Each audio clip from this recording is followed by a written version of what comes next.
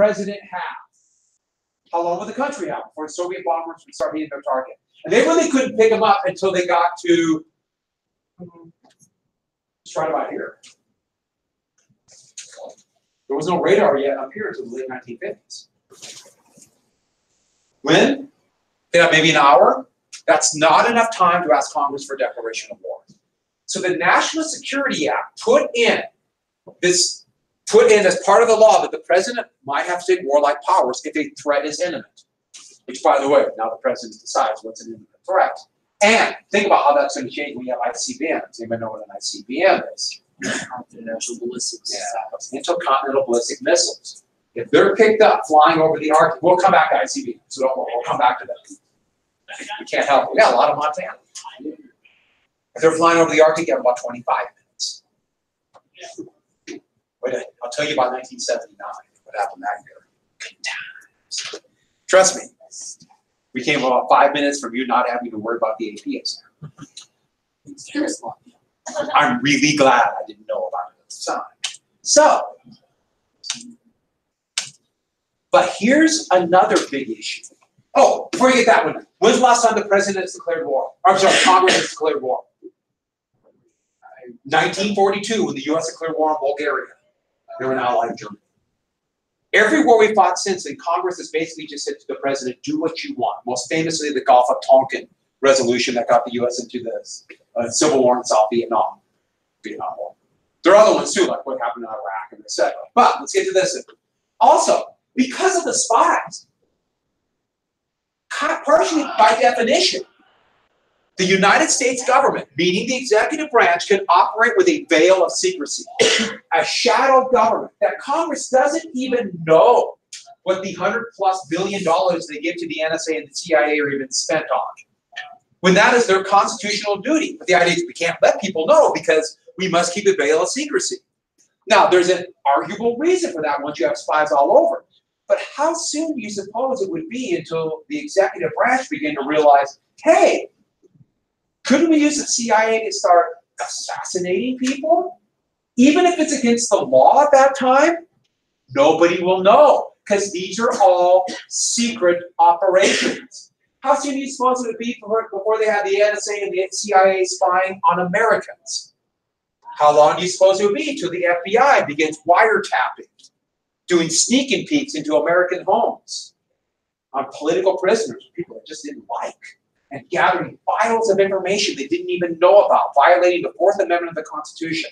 How soon do you think it would be? Six months. The FBI almost immediately started doing that. Truman did not have the CIA do it, but Eisenhower would. In fact, they would help overthrow a democ- democracy in Iran just months after Eisenhower took power. So this is a big deal. It's a big deal. And they would start assassinating people. In fact, the FBI would start gathering files on so many people and use that to extort people, most famously in 1965 when the FBI sent a letter to Martin Luther King to try to blackmail him into committing suicide. And that was the US government, because he was obviously a communist. He wants equal rights. And that should give you an idea how fast it took. Now, I should add, after September 11th, the law changed. And the CIA assassinates people almost every day.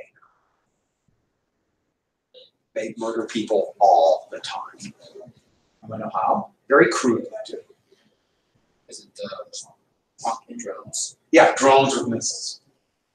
And the thing about drones with missiles, if there's someone next to the person they're trying to kill, which there's no trial, they just say that's a target, they're dead too, or horribly wounded. And there's, we don't know how many. We're, since 2008, it's in the many thousands. This will blow back on us someday. I'm old, so it more affect you people. Isn't that the great thing? Us old people can say, good luck with that. Yes, I think it's awful. Really- so, and they can all justify this by national security. And one more thing, this is the beginning of total war. Haven't you heard like, and there's like bad movies that all say that this is secret because of national security? President Nixon tried to overturn an election in 1972, this big operation we lumped together called Watergate. using the CIA and the FBI to overturn an election, and he tried to keep it secret because of national security. Part of the reason Bill Clinton would justify hiding some elements of an extramarital affair he had in the White House was national security. And that goes right to this day about what would happen with uh, with the investigation on President Trump. And he's desperately trying to keep this secret. There's probably something really embarrassing in there. Who knows? Maybe something more. But they're part of the reason to justify is national security. And so we began low grade total war. And this would begin in 48. And I have never known anything different. I know what you think I was born long before that, but you know, I wasn't with the until I was about 40. And also, it was not as much as not when I was your age was not even close to what it is. Now the thing about it is, that you've never known anything different. That's not an insult. I mean, you, you grew up with, you know, we have been in the grade total war your whole life. With the secret police and spying and investigating, and you've never known anything different. And tracking where you're at and every, every place you go. You know what I'm talking about, right? If you have a phone, they're tracking you, that information goes right to the NSA. I know what most of people are like, boy, do we lead boring lives, but occasionally, okay, so with that, all that starts here. Military spending would go up, and in 1948, the United States would begin its first peacetime military draft. And that would go on till 1973, and the legacy of that goes on to this day. So when soon to be young women, but young men go, when they turn 18, what do you got to do? You you you don't have to no right now. You have to go register for the draft. Where if case there's an emergency, they have this whole pool of names that can call you up. now they don't really need it now; it's just kind of a legacy of it. And they call it more socialism. They actually would buy as many weapons from different arms manufacturers, manufacturers, arms contractors as possible, especially planes, to keep the companies going. So, for example, you would not believe how many different warplanes they would buy in the 1950s to make sure companies like uh, Corvair, not Corvair, uh, Convair or McDonald, these are companies of the 50s, Douglas, most of them are gone now, Lockheed's still around, Boeing's still around, North America, Grumman. So they could keep these companies going. We bought planes from all over so that they're always ready to build. So that means that taxpayer more than ever before is going to go to arms contractors. And this is a implying that there's overwhelming forces we have to do it. Here's a cartoon. It's actually from 69, but it's a pretty good cartoon. Military spending gets basically no real review anymore. It's put, they don't even go through the numbers in Congress. It's basically number and it's passed. It's actually remarkable. Where domestic spending is they go through much more carefully. And um, the military budget is always covered, and then the rest is divvied out. And you might say we should need more for more domestic needs, but it's still a pretty good cartoon. Herb Block's one of my favorite cartoonists. He did all the way from the late 40s all the way to he quit. God, 2008, right until he died. He was really good cartoonist. But while this is going on, part of the reason all this happened is the Cold War became hot. Sorry, that was, that was the old joke. We never actually shoot each other. It's horrible, isn't it? The Berlin blockade. And what happened was this. The British, the French, and the Americans, what was the plan for economic aid of Western Europe? What do we call it? Marshall Plan. So, if they're going to rebuild Western Europe, they got to start with a common currency. Those occupation zones got to have a financial system to start rebuilding it before they're using just a hodgepodge of they call it script. The Germans would, or the, the British would issue a script, the French would issue a script, etc. So they made a common currency, the Deutschmark, which would be the German currency until 2002. What's it now? They're in the euro, which functions very much like the gold standard, so it's problematic. But once you create a currency, start collecting taxes and that, you basically created a country. And this would be the beginnings of West Germany. So when I was growing up, it was West Germany, and then soon the Soviets created East Germany. The problem was this remember Stalin's greatest fear? They're going to rearm Germany and send them back, and this is what he thought was going on. This has all been a plot.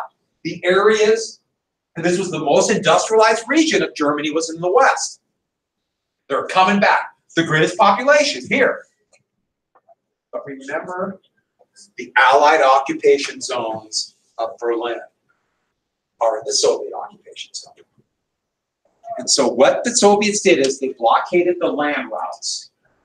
So there's a British, French, and American. They each had a railroad, an autobahn, and an air route. They blockaded the air. I'm sorry. They blockaded the railroad and road. And each zone had a, a little airport. They're actually really small. Now this is like a park. So my sister-in-law, uh, my wife's sister, married a Berliner, and he grew up right next to Tempelhof Airport, about a quarter mile from the wall. And there are 4,000 American troops there at all times growing up, 4,000 British, 4,000 French. And he, he'd see convoys going all the time off the Creole Road, American convoys going by. That's what he grew up in. And the air routes are open, but the Soviets believed correctly, they thought, no way they could bring, they could bring in supplies and coal to heat not only the soldiers, but the almost 3 million civilians in this area too. this looked like an act of war.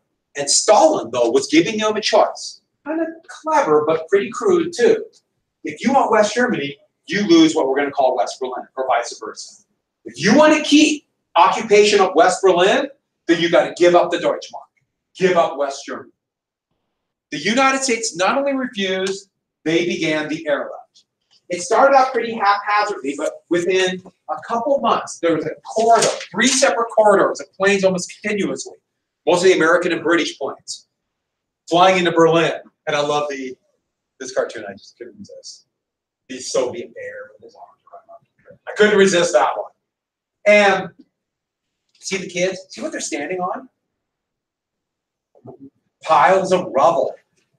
They would take, I mean, these piles of rubble were everywhere. And there's actually one spot in the Berlin Zoo.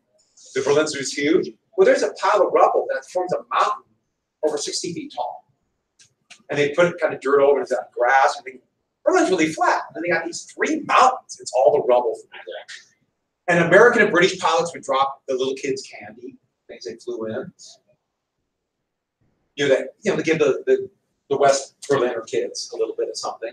And it worked not only were they able to get just enough supplies in to survive, this humiliated the Soviets, and also the West Germans began to really appreciate the United States. No longer, US and British are no longer occupiers, they're protecting them. And so the Soviets backed down. This would be a humiliating defeat for Stalin, and this is when Berlin would become the focal point of the Cold War. Everyone got that? The focal point of the Cold War. And let's jump right to this. So they created, the United States would escalate things right after it created a military alliance with the very innocuous name of the North American Treaty Organization, NATO. This is a military alliance that still exists today, a pact.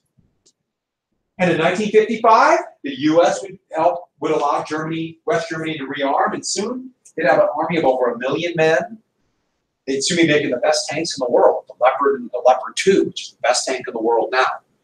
And the Soviets would respond in 1950, uh, 1955, after Stalin died, with the Warsaw Pact. That was their military lines. When I was a kid, it was always Warsaw Pact versus NATO, and this is the kind of map I saw as a kid. Blue, red. One more conference we got to get to, and I know the bell's about ready to ring, but I really got to get to this.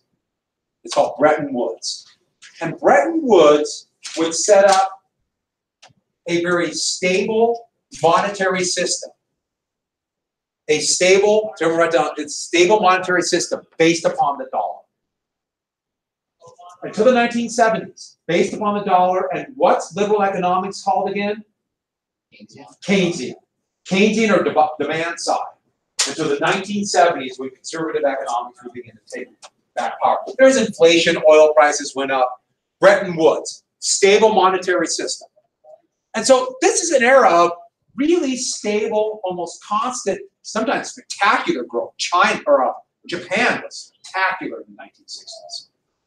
Now, I put a few things, but don't worry. All we got is a monetary system, we're okay. Monetary system based upon the dollar. And anybody know what the GI Bill is? That would be created in nineteen forty-four for veterans, you know? Yeah, for veterans go to college and for their kids go to college. At first, it was just for veterans. Remember Roosevelt wanted basically no tuition for public schools? Couldn't get that. But liberal Democrats and liberal Republicans in forty-four did it for veterans. And you know how many veterans it's gonna be? Fifteen million. Conservatives oppose this. This goes against trickle-down economics, and conservative Southerners thought it would go to blacks. Racism, remember that there, Jim Crow, never seems to go away. It's in cities. GI Bill is a big deal, and then it was expanded a few times. Democrats in Congress had a big expansion in the uh, early 2000s. We're spending money for college and also more money for children. Anybody have that for kids? So few, and uh, yeah, my my dad got that. It's a big deal.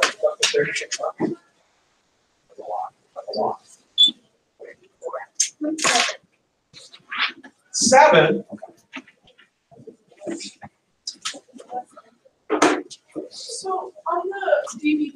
Yeah. I feel like on the document, uh, I try to like make sure I specifically get half because at the time I don't get half and I think I'm getting it, but I don't. So I I, can't look at yours specifically, I can't remember. But I think I, maybe if you're just looking at specifically. so I was really even wrote down what was the half for in my.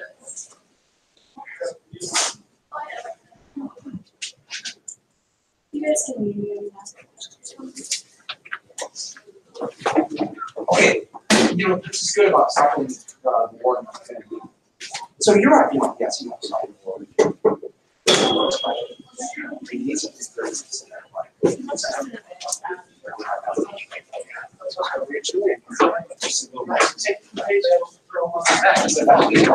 That stuff, if I go to one bit, And then, um,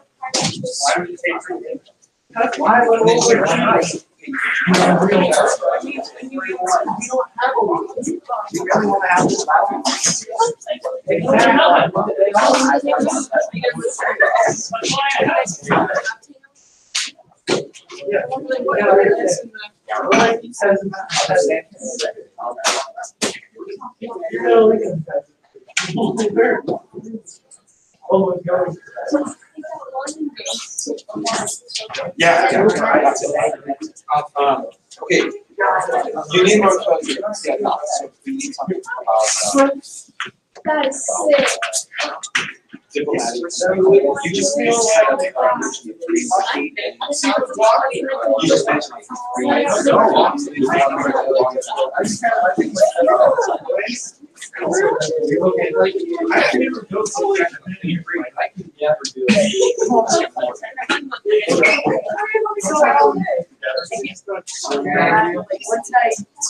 Good, good question.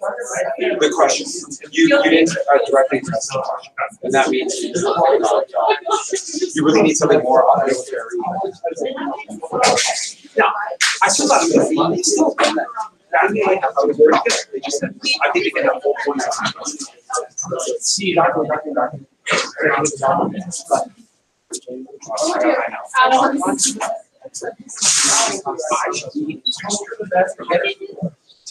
know.